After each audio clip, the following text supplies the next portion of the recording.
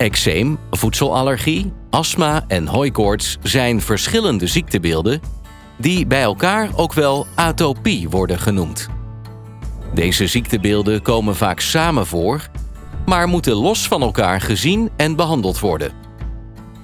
Het ene is geen gevolg van het andere. Eczeem is een huidaandoening waarbij iemand veel jeuk heeft en de huid droog is met rode plekken. Normaal gesproken bestaat de buitenste laag van de huid onder andere uit huidvetten.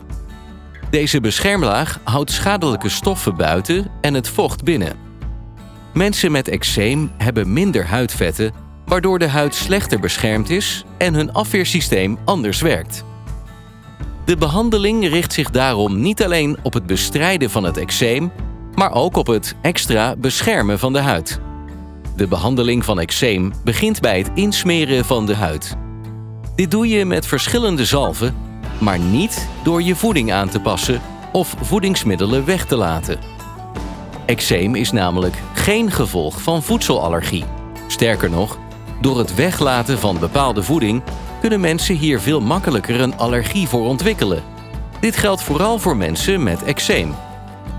Juist mensen met eczeem, en vooral baby's, moeten zoveel mogelijk verschillende voedingsmiddelen tot zich nemen.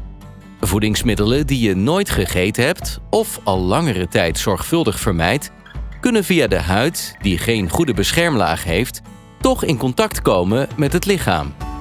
Hierdoor bereiken deze voedingsstoffen via de huid het immuunsysteem, dat dan gelijk antistoffen gaat aanmaken.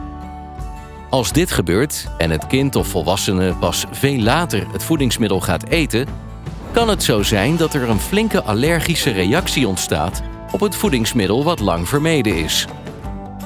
Dit is niet alleen vervelend, maar kan zelfs erg gevaarlijk zijn.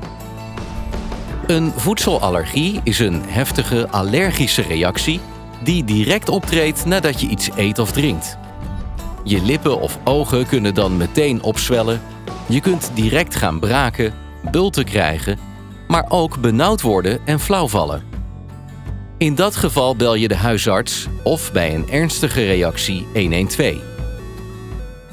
Eczeem is iets heel anders. Dit is een chronische en dus voortdurende ontsteking van de huid, als gevolg van een verminderde beschermlaag en andere afweer.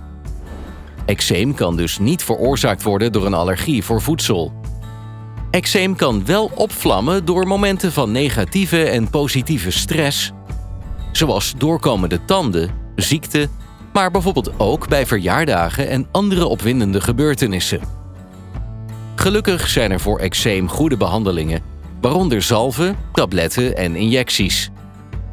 Bij voedselallergie is het advies om de bewuste voedingsmiddelen niet te eten. Eczeem en voedselallergie worden los van elkaar behandeld. Eczeem wordt dus niet behandeld met een dieet waarbij voedingsmiddelen worden weggelaten. Wil je meer weten? Download de folders Constitutioneel eczeem en voedselallergie bij kinderen